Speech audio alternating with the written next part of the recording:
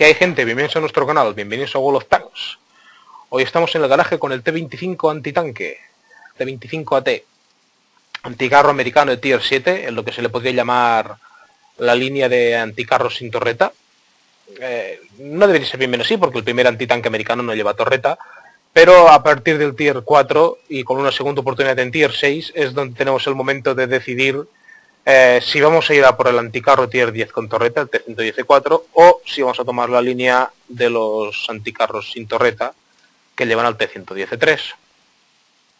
Es una decisión importante porque obviamente el estilo de juego al tener torreta o no cambia totalmente la forma. Eh, digamos, esta línea sería la más convencional en lo que se refiere a anticarros y esta línea pues es un híbrido entre eh, anti, antitanque pero con movilidad y, ventajas de un tanque pesado. Lo que pasa es que no tiene los blindajes del tanque pesado, o sea que... Bueno, eh, es torreta, no torreta. Ahí está vuestra elección. Una vez estáis en el T-25 ya no hay vuelta atrás. El T-25 en sí es un tanque que tiene bastantes peculiaridades y, está un poco fuera de lugar, porque el T-25, eh, su predecesor es un antitanque con torreta y su sucesor es un antitanque sin torreta, pero que no tiene absolutamente nada que ver con el propio T-25. Es decir, este tanque, el T-25, no tiene nada que ver más que los cañones iniciales con este tanque, el T-28. Son absolutamente diferentes, la forma de jugar es absolutamente diferente, los puntos débiles y fuertes son totalmente opuestos. Eh, entonces, claro, nos encontramos con un tanque que funciona totalmente diferente al tanque que le precedía, y que el tanque que le sucede funciona totalmente diferente a este tanque. O sea, es un poco... Este antitanque es muy ruso. La forma de jugarla es muy al estilo ruso. Es decir, aprovechando el pequeño tamaño, el juego nos proporciona un bonificador de camuflaje muy importante. Entonces, el sistema de juego se basa en disparar desde posiciones eh, en camuflaje, tras arbustos, a larga distancia del enemigo, y cuando se echa alguien encima aparecer prácticamente de la nada porque no nos han detectado gracias a nuestro camuflaje y machacar al que, se haya decidido acercarse. Entonces, eh, ¿qué pasa? Pues resulta que este antitanque, el ruso premium, es lo más parecido que vais a encontrar en el juego a este antitanque. Lo cual resulta un poco chocante, la verdad, que dos ejércitos tengan dos tanques prácticamente iguales. Pero es la realidad. Está claro que el ruso tiene más pegada, el cañón pega más fuerte, pero los tiempos de recarga, la, precisión, todo, todo, todos los hace vehículos muy parecidos, incluso los valores de armadura que no hace falta ni al Tank Viewer porque son realmente mediocres. Pero bueno, ya llegaremos a eso, ya lo miraremos en más detalle cuando lleguemos a su punto. Como decía, es un tanque tier 7 con 840 puntos de vida que es poca, porque es un antitanque, son vehículos bastante frágiles. Por ejemplo, ahora sí que me venga a la cabeza el IS ruso Tier 7, tiene 1250 puntos de vida. Pero estos 840 están en la media de lo que serían los, los vehículos de la competencia. Por ejemplo, los, si no contamos a los ingleses, que tienen muchísima más vida y armadura porque son mucho más lentos y vulnerables. 850 puntos el Jack Panther. Si nos vamos a la France, ¿Dónde estás? Aquí. 820, siempre los franceses siempre son un poco más frágiles, pero fijaos que no por mucho. Los rusos también. ¿Dónde estás? El Su-152. 870. Un tanque relativamente grande e inmóvil, o sea que... Pero como veis, estos 840 eh, están en la media. Es correcto. La relación peso-potencia es el primero de los aspectos interesantes y que lo hacen diferir totalmente de, su sucesor. La relación peso-potencia es mucho más que correcta porque si ahora le he quitado ya el equipamiento, pero con el equipamiento habitual que yo monto a la mayoría de mis tanques, este tanque pesa unas 40 toneladas. Impulsado por un motor de 700 caballos, nos da una relación peso-potencia de unos 15, 17 o 18 caballos por tonelada, lo que está bien, son niveles superiores a los tanques medios, con lo que estos 56 km por hora los superará sin problema. Eh, no los superará, los alcanzará sin problema. Subirá por cuestas de forma bastante competente, porque es un tanque moderadamente ligero, o sea que es fácil subir cuestas a 20-25 km por hora. El giro de chasis es correcto, no es ninguna maravilla, pero está bien, 30 grados por segundo no está nada mal. Por ejemplo, si lo comparamos, si volvemos una vez más a la competencia, pues ah, no lo tengo el, ISU, el SU 152 yo no lo tengo, Pero si le echamos un vistazo al Su-152, aquí veremos giro por segundo, ¿dónde estás? 20 grados. O sea que el alemán es bastante más móvil, eso sí. ¿Dónde estás? Estás... 30 grados, igual que el americano. O sea que, como vemos, la movilidad correcta. Si se nos echa un tanque medio encima, un tanque ligero, tendremos nuestros medios para defendernos.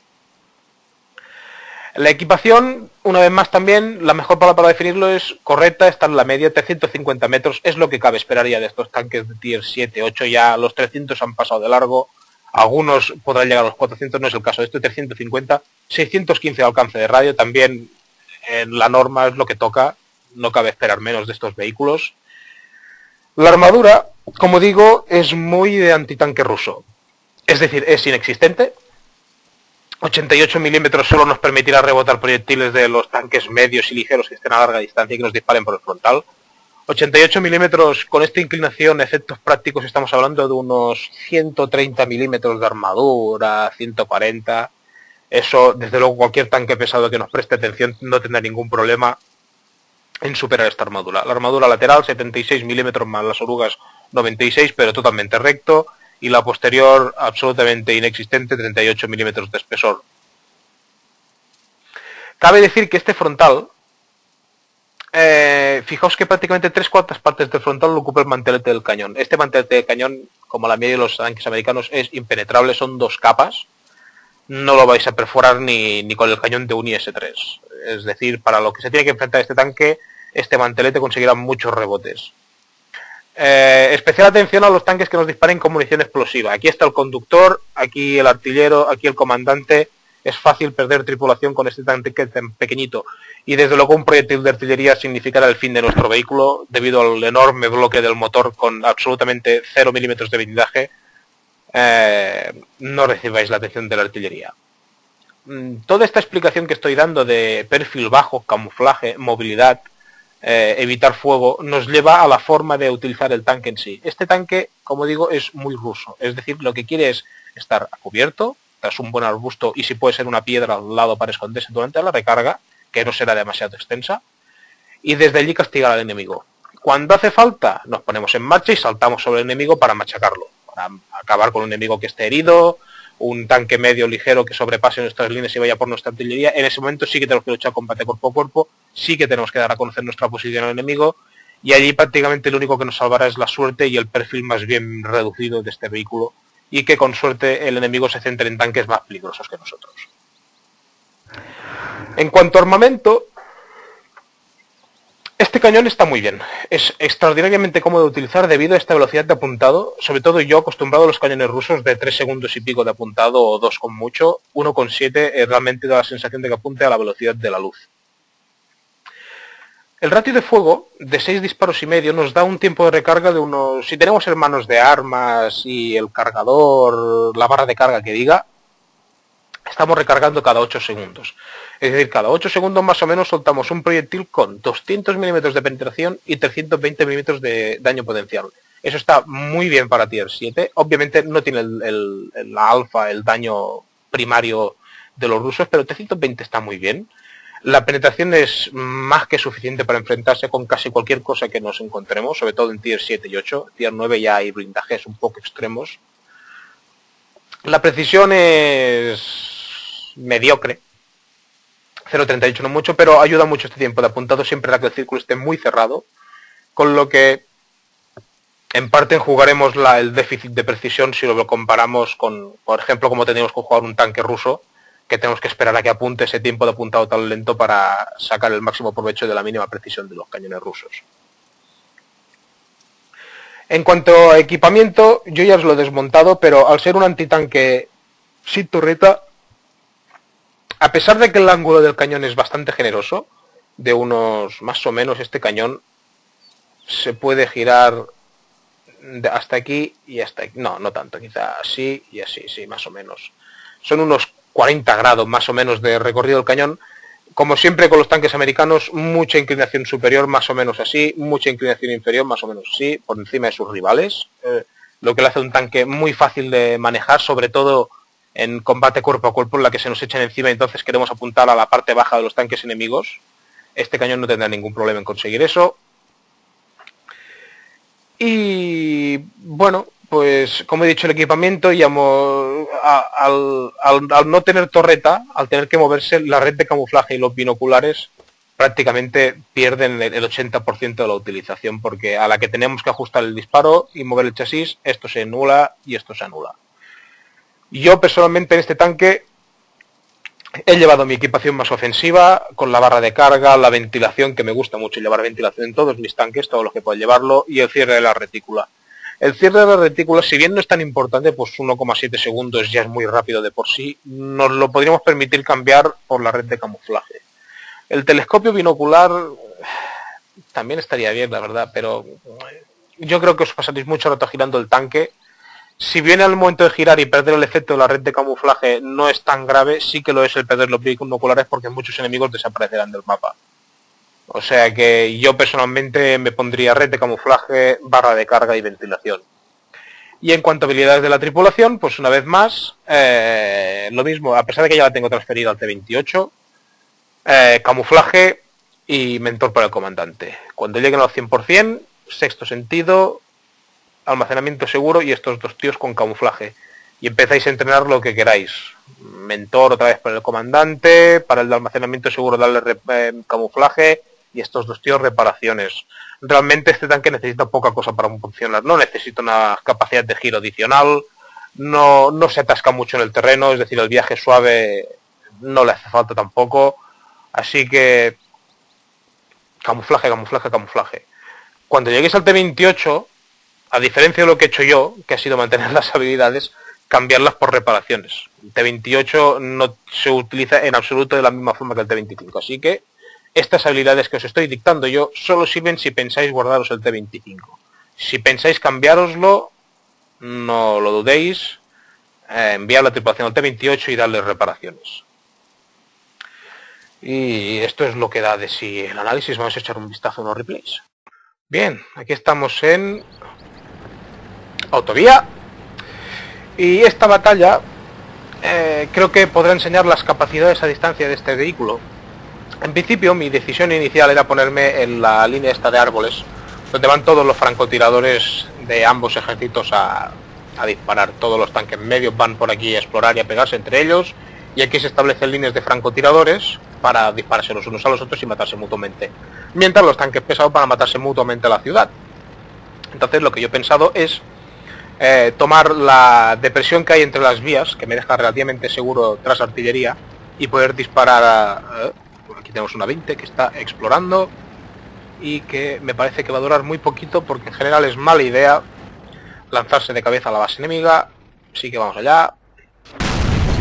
Ese disparo está muy mal calculado. La artillería falla por nada. Y conseguimos una morrack de 8 puntos de daño, gracias.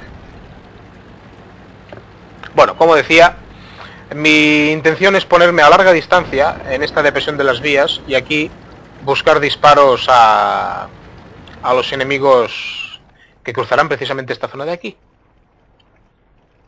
Como ese tanque medio ruso que acaba de escaparse, pero que parece que se ha echado por atrás.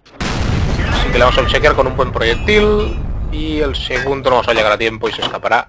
Lástima. En estos momentos estoy pensando que nuestro tanque medio no está detectando a nadie aquí aún, con lo que quiere decir que los tanques pesados enemigos están subiendo, ahí están, así que vamos a tomar la segunda posición de combate a larga distancia. Tenemos un VK que está recibiendo una paliza. Vamos a tomar la segunda posición que básicamente es la misma, pero ya fuera de la seguridad de las vías pero consiguiendo tiro en el punto de entrada de los tanques pesados enemigos. Todos los tanques pesados tienen que pasar por aquí. Vemos ahí un árbol que ha caído, no tardará en aparecer el tanque que lo ha tirado. Mientras tanto, nuestros chicos pesados ya están en la ciudad preparados para defenderse.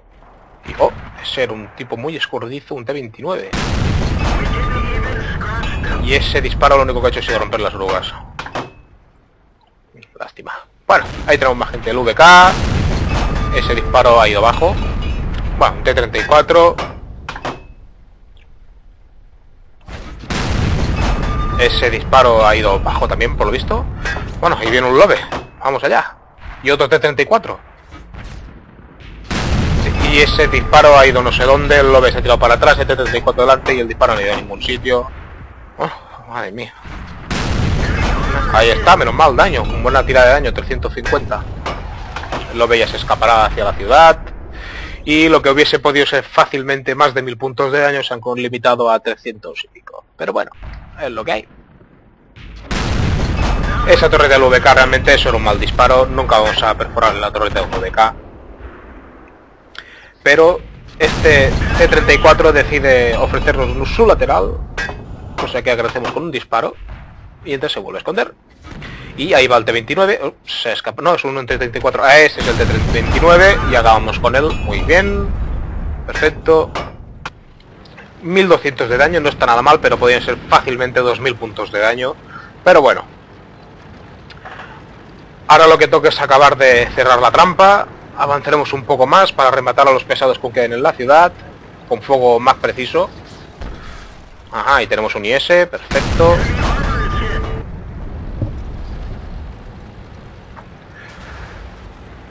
¿Y qué más hay por ahí? ¿Un lobe es eso? Sí, el lobe, ahí está. Ah, ese disparo está mal apuntado, mm, además ha ido bajo, y habéis visto que el disparo del Lobe no ha tenido ningún problema en apuntar un segundo y conseguir daño. Es, es lo que tiene la armadura este tanque. Bueno, ahora mismo veo que las fuerzas enemigas se han reducido a un Lobe y aquí hay un T-34 que ha desaparecido y nadie... Ahí está el T-34 otra vez. Que se siente obviamente muy seguro porque no tiene nadie corriendo la calle del fondo para atacarle por detrás. Y nosotros le vamos a demostrar que un pequeño antitanque móvil puede aparecer detrás suyo y amargarle el día como es el caso. A disparo en movimiento.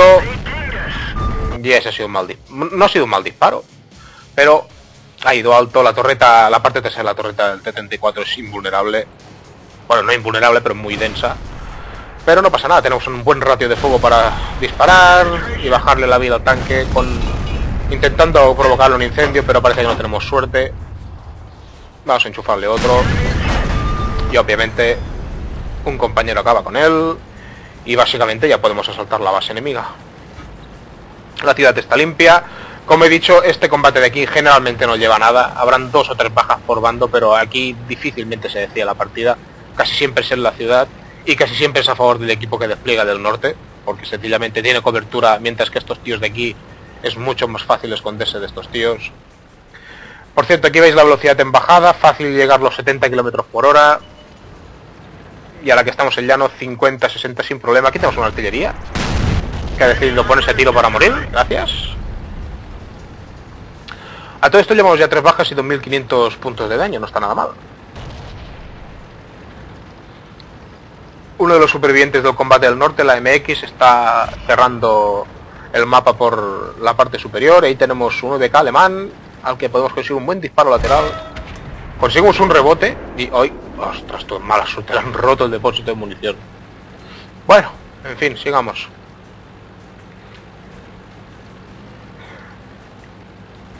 Bueno, básicamente sigamos solo, al enemigo solo le queda un M44 y el anticarro. O sea que tampoco habrá mucho que, que ver aquí. Acabemos de rastrear la base. Como digo, veis la movilidad de aquí, vamos a 40 por hora sin ningún problema en terreno irregular. El sucio ha sido descubierto. Yo me huelo que la artillería tiene que estar por aquí. Y efectivamente ahí está la artillería. Aquí lo que ha pasado es que la artillería ha disparado, me ha roto la oruga y me ha desviado un poco a la derecha, con lo que mi apuntado automático que había puesto aquí sobre el objetivo, porque es enorme, se ha ido a la derecha en el momento de disparar y se ha perdido el disparo. Mala suerte no voy a gastar el kit de reparación para pescar un antitanque que está medio muerto. Bueno, no está medio muerto, pero lo estará enseguida, rodeado por todas partes.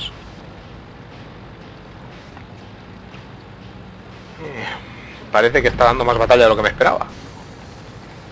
Vamos, chavales, un antitanque tiene 7, ¿eh? ¿Eh? Vaya, por Dios, ha, acabado con él.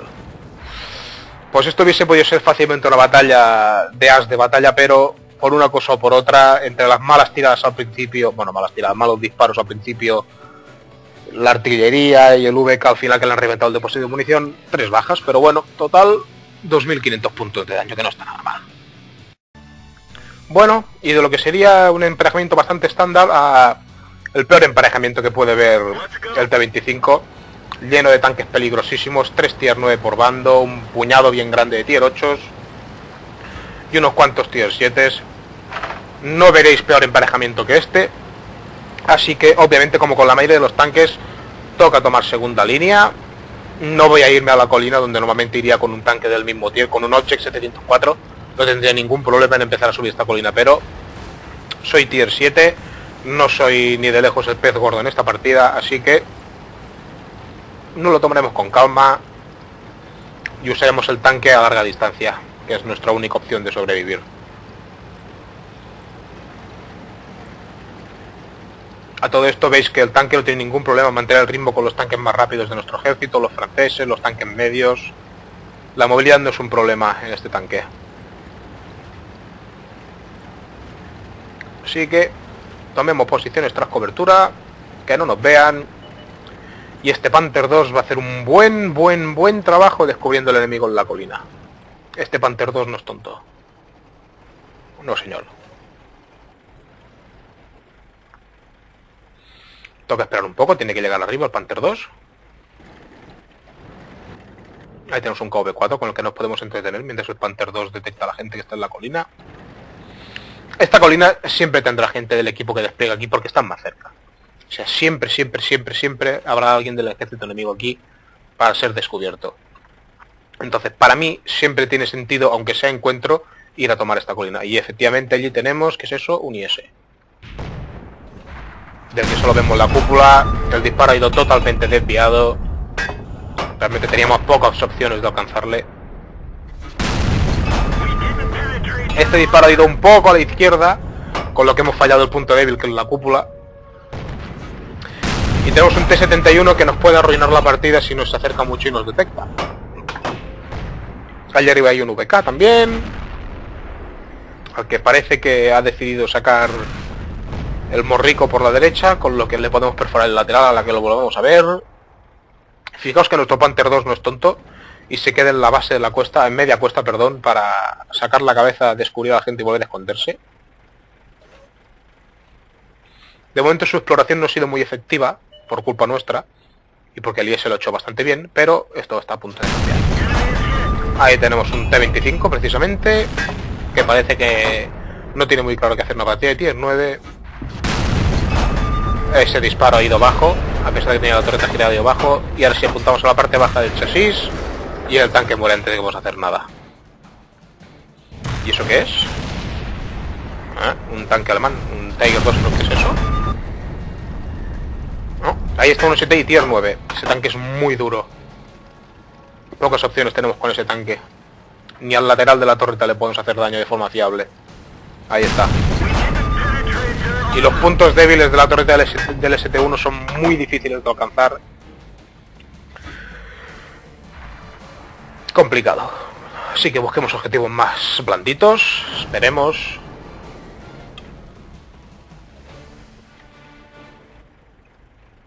Ajá.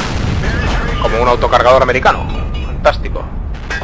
Ese tío no sabe dónde se ha metido. Adiós al T-69. Un tier 8 fuera. Y mientras al, tanque francés le han descubierto, a nosotros no. ¿Por qué? Porque nuestro factor de camuflaje es muchísimo más alto que el de nuestro compañero. Por eso le han visto y le han disparado y nosotros no. Vamos con nuestro compañero T-25. Y el ST-1 sigue ahí arriba, impasible, no ha recibido ni un punto de daño. Otro rebote. Es muy difícil y sobre todo a larga distancia ese tanque es casi inalcanzable para nosotros. Pero un Tiger 2, por la otra parte, y sobre todo si nos da el lateral de la torreta, es bastante más asequible. Ya, ya estáis viendo el trabajo que está haciendo el Panther descubriendo a los enemigos, de lo cual nosotros tomamos ventaja, claro.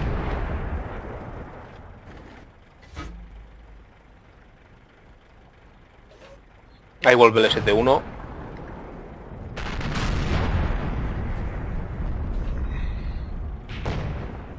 que se está cubriendo de nosotros, ese tío es bueno, se está cubriendo de nosotros con el chasis de su compañero muerto y está machacando a los tíos que están abajo de la meseta.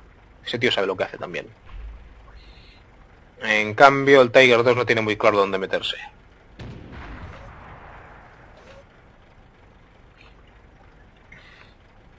Desde luego, con la muerte de tanques enemigos que hemos provocado en la meseta, aparte de ganar ventaja para nuestro equipo, hemos eliminado mucho fuego de supresión que podrían poner mucha presión desde la, desde la meseta hacia, hacia la llanura y hacia nuestra base de tiradores, claro.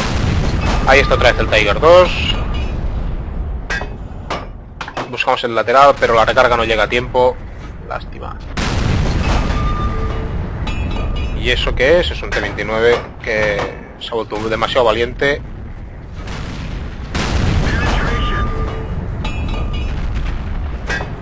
acaban con él perfectamente y el Tiger 2 se está arriesgando demasiado para cazar a Panther y tomamos ventaja de ello. El ST1 sigue impasible. No, ha recibido daño. Ha recibido daño. Pero ya veis, me está ofreciendo el lateral de la torreta. Y no hay manera de hacerle daño a esa bestia.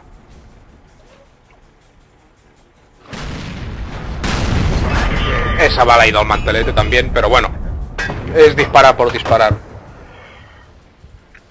Realmente no tiene mucho sentido intentar hacerle daño en STI de, a ST1 desde esa distancia. Si no saca, si no saca la panza, si no sale mucho más fuera, no, no me ofrece puntos débiles a los que disparar. Y finalmente el ST1 acaba con nuestro Panther. Fijaos, la bala de lleno en el lateral de la torreta, rebotada. Para ese tío va a hacer, va a hacer falta fuego pesado, no vamos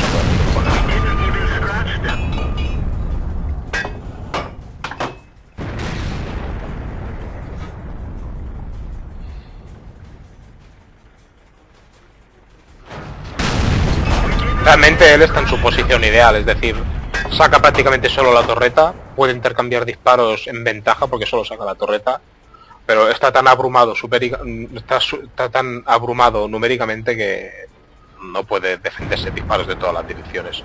Ahora mismo está recibiendo disparos de este T-32 desde el sur.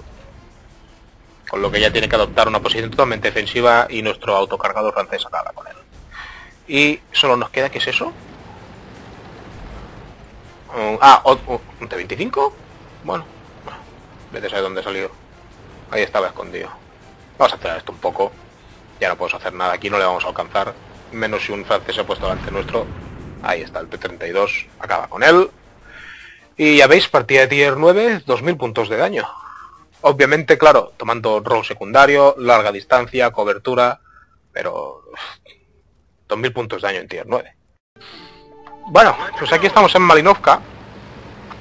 Y este emparejamiento, aparte de ser el más favorable o prácticamente el más favorable que puede ver este antitanque, tiene una peculiaridad bastante interesante y es que casi no hay tanques pesados, sobre todo en el tier 7, fijaos, el enemigo de Tier 7 tiene un pesado, el Black Primes, que tiene un cañón de tanque medio, y el resto son tanques medios. Y tiene dos KV-1S y prácticamente ya está. Es decir, mmm, enfrente no voy a tener enemigos que sean especialmente resistentes a mis disparos, con lo que me puedo permitir el lujo de lanzarme al ataque como si fuese, yo que sé, pues un antitanque inglés, por ejemplo. O uno de los rusos con los cañones abrumadores que, poseen. Realmente esta partida también era un poco experimento para ver cómo podía rendir este, este tanque en este tipo de condiciones. Pero bueno, veis lo que os decía, la velocidad al subir la colina, 20-22 kilómetros por hora. Está muy bien, la verdad. Sobre todo comparado con según qué vehículos. Y no os digo ya lo que cuesta. Creo que el T28, el T28 no puede subir esta cuesta, cae para abajo. Bueno, a todo esto aquí tenemos un T34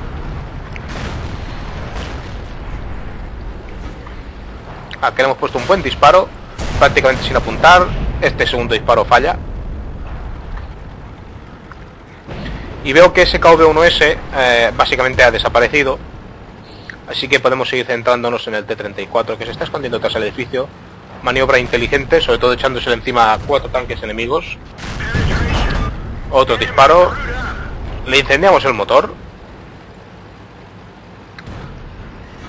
Vamos a echarnos encima este tío que nos escape pero se escapó. pero lamentablemente se ha escapado hacia el otro lado donde estaba esperando el resto nuestro ejército. Hemos tomado la colina, bueno, la estamos acabando de tomar, queda un cabo uno es y poca cosa más.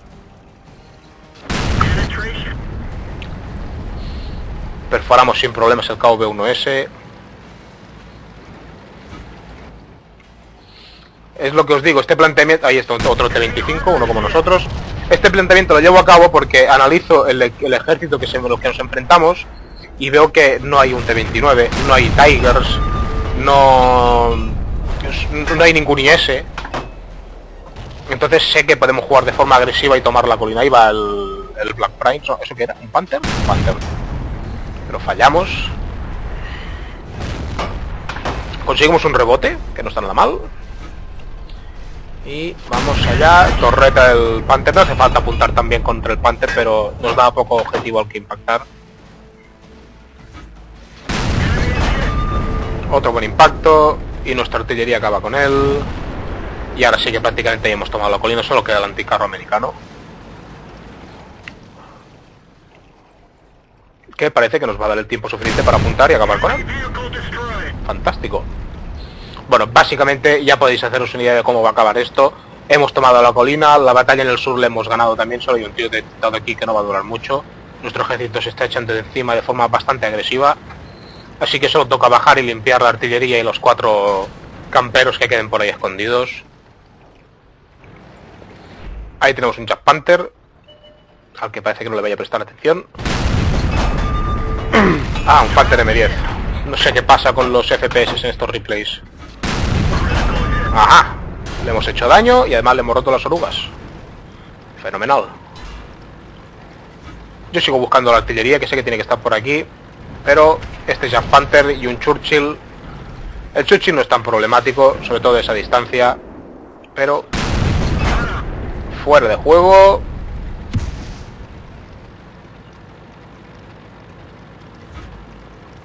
Ahora vamos a por el Jack Panther y acabaremos ya de limpiar todo esto. ¿Qué tiene que estar por aquí escondido?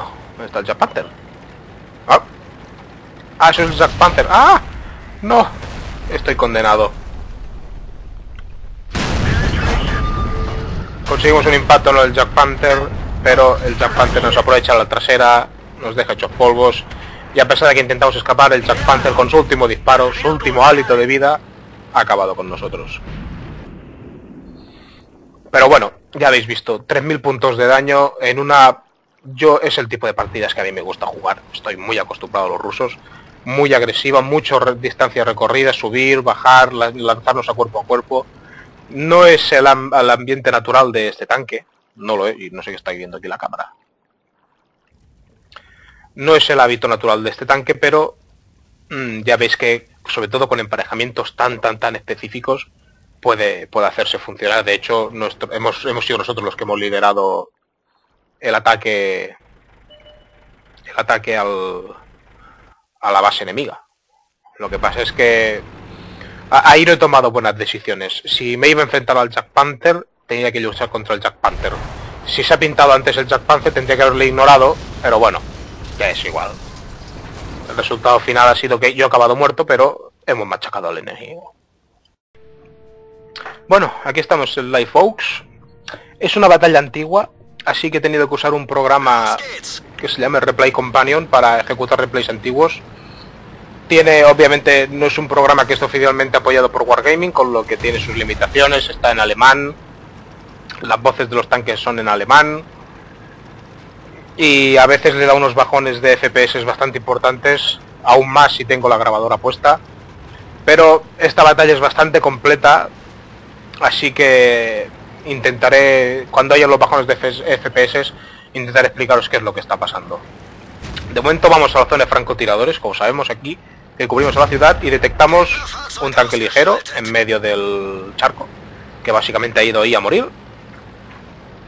Así que quitada esa molestia, y nuestro explorador también ha ido a morir, quitada esa molestia podemos centrarnos en buscar enemigos que se pasen por delante nuestro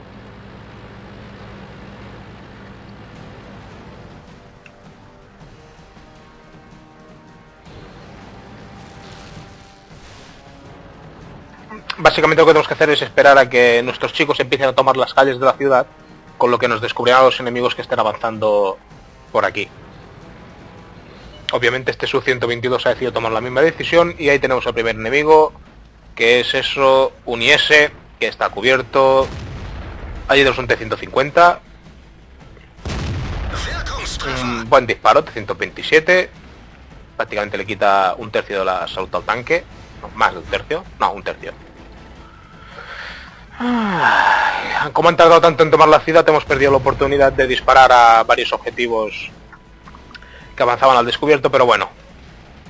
Ahí hay otro IS, eso es un Tiger, vamos allá a ver si conseguimos algo, pero ese IS nos ofrece muy poco objetivo al que disparar.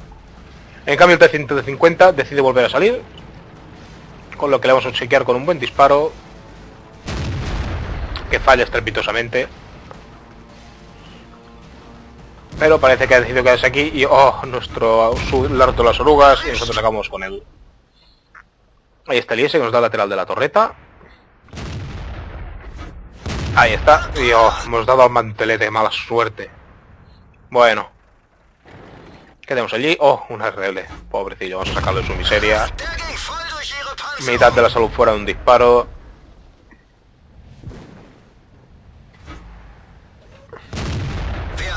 Y ahí está el RL muerto, donde debe estar. Que el chico siga entrenándose porque menuda joya. Y está el IS otra vez, que no se decide a salir y nos da tiro. ¿Y eso qué es? Ah, vaya, es igual. Otra vez el IS. Vamos allá. Disparo a las orugas, a ver si se está quieto, pero no, fallamos. Realmente si ese parece que esté centrado en el tanque medio que tenemos aquí en el pueblecito, mientras hay cuatro tanques pesados en varias direcciones dirigiéndose hacia él, pero bueno. Ahí no vamos a tener tiro nunca. Y en este momento eh, entiendo de que la ciudad la vamos a tomar, porque eh, tenemos superioridad numérica, la artillería está cerca, un cazacarros, cuatro pesados, mientras que nuestro único pesado en el flanco sur está a punto de caer ante los enemigos. Así que tenemos que tomar cartas en el asunto y ir a ayudar. Acaba de caer uno de nuestros ligeros. Ese tío, el, M10, el no, sí, el M10. Está básicamente el solito acabando con, el, con nuestro, todo nuestro blanco sur. Así que se ha cargado el T-29. Así que tendremos que tomar medidas y aquí es lo que decía, combinamos la función de francotirador con la función tanque de asalto. Tenemos que reducir estos tíos de aquí. Ese es el tío más peligroso, el M10. A ver si nos dará tiempo a recargar. Vamos, vamos, se va a escapar. Se va a escapar seguro, adiós. Lástima. De hecho, no sé cómo un Panther ha podido rotarnos un disparo, pero bueno. Mientras el otro Panther cae miserablemente. Y Ahí tenemos otra vez ese peligrosísimo M10. Ese es un buen disparo. Se lo va a pensar dos veces antes de volver a subir. Básicamente con mantener... No hace falta ir a luchar al cuerpo a cuerpo con ese Panther. Con mantenerlo a raya, nuestros chicos en el norte acabarán con la resistencia y tomarán la base. Y hay un Churchill que no ha sido un detectado en ningún sitio. Oh, ¿Cómo se ha colado ahí un Churchill? Está ahí abajo, no lo he visto yo. Bueno, acabemos con el Panther, que es nuestra principal preocupación. Pues no, parece que tendremos que ir a por el Churchill.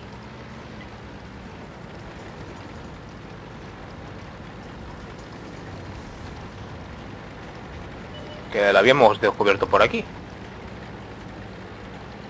Y no sé dónde está. Ahí está, vuelto a aparecer. De hecho, aquí estoy jugando un poco entre dos fuegos ese es el tío peligroso, pero el Churchill tiene la posición ventajosa para atacarme. Pero el peligroso, el peligroso de verdad es el Panther. Ese tío tengo que sacarlo de circulación como sea. Su cañón no pega, pero... Si se ha cargado a tanques, seis tanques enemigos, no, no es por nada. Tiene que estar escondido por aquí, aquí está. está, fenomenal. Fuera el tío más peligroso del ejército enemigo. Y ahora el Churchill ahí en medio de agua embarrada prácticamente no representa ninguna amenaza.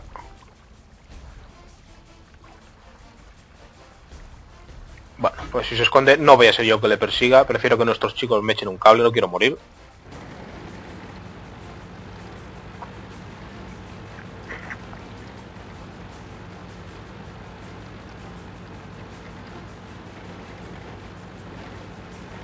Obviamente el, que acabamos de matar se queja de su birria de equipo, supongo, no entiendo nada de lo que ha dicho, pero me lo puedo imaginar.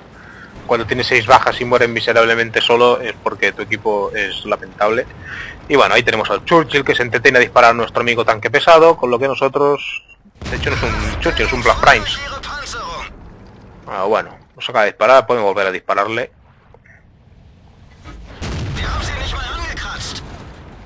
11 puntos de daño le ha hecho nuestra artillería. Bravo.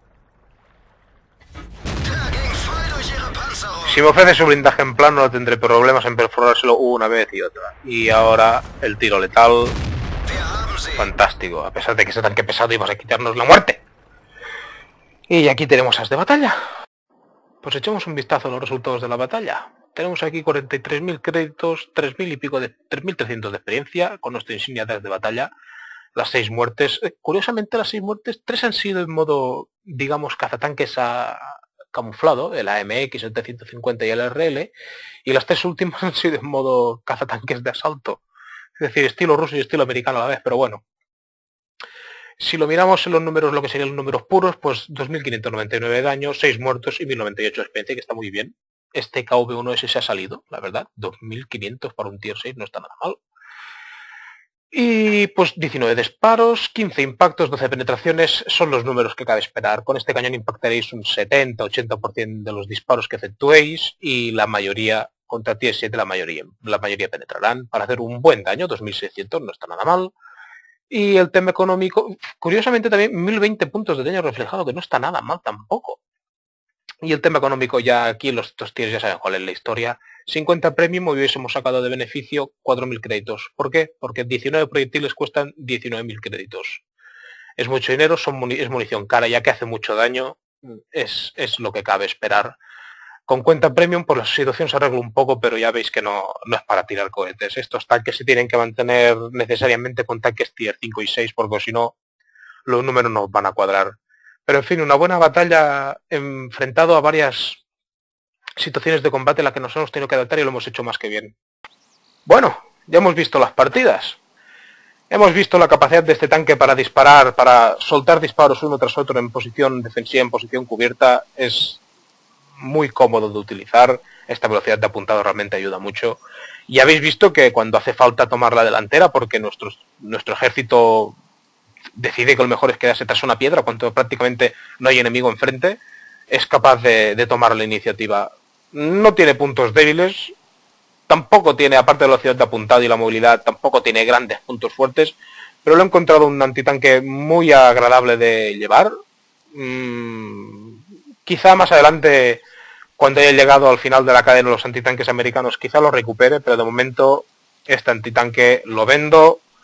Ha sido un buen vehículo, ha, hecho su trabajo. Mm, desgraciadamente, como he dicho al principio, no se parece ni a su predecesor ni a su sucesor en cuanto a forma de utilizarlo, pero el vehículo en sí está bien, es un buen paquete en general, no pocas cosas malas se pueden decir de este vehículo.